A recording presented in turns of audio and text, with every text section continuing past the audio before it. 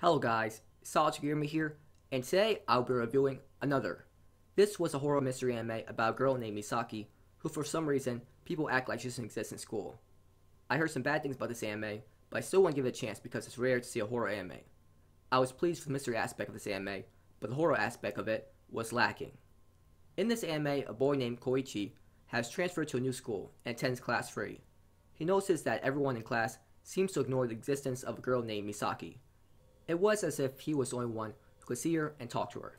Koichi investigates the mystery of why everyone is ignoring Misaki and learns the shocking truth about the curse placed on Class 3. I was really immersed in the mystery of this anime as it intrigued me so much.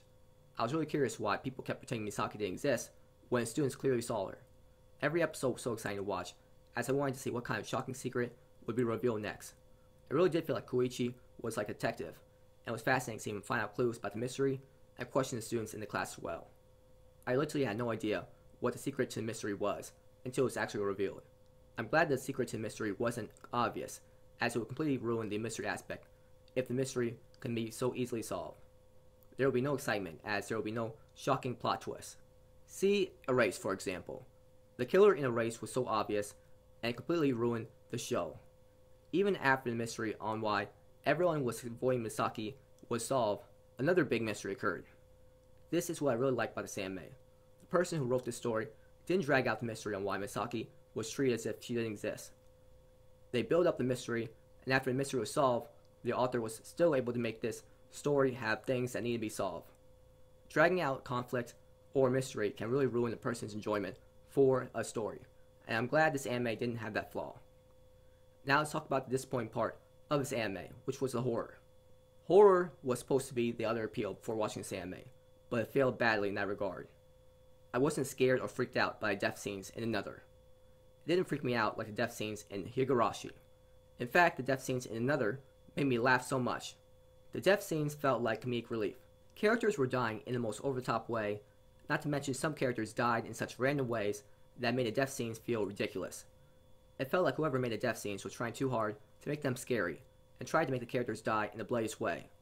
I felt like the show was trying to be edgy. You didn't need to make the death scenes so over the top. Having the characters die in simple ways still drives the message across about how terrifying the curse is. I had a good laugh though while watching the death scenes, but honestly, this show would have been better if it just toned down the death scenes. As the main character, I felt like Koichi was a generic nice guy, but I did like his determination to find out the truth about the mystery, as the other characters in the class didn't even want to get involved with the mystery at all. Misaki was a kuudere and didn't show emotions at all. She fascinated me as a character though, as I really wanted to know why she acted so broken inside. It was as if she hated life. I'm glad anime explained details about Misaki's past. The opening for Another was great. It had that creepy atmosphere. Surprisingly, the ending was really relaxing to listen to. The music during the episodes was great. It made the shocking plot twist in the story more impactful to hear for the first time. The animation style looked good, and the animation throughout the entire anime was great. The characters move around naturally. I recommend to watch the anime if you really enjoy watching mystery anime shows, as that type of anime is rare to find.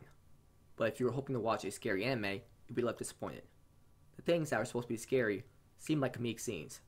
I give this anime a 8 out of 10. So that's all I want to talk about for today. Thank you for watching this video. Have a great day or night wherever you are, and please like and subscribe if you enjoyed the video, and please comment if you found anything interesting in the video.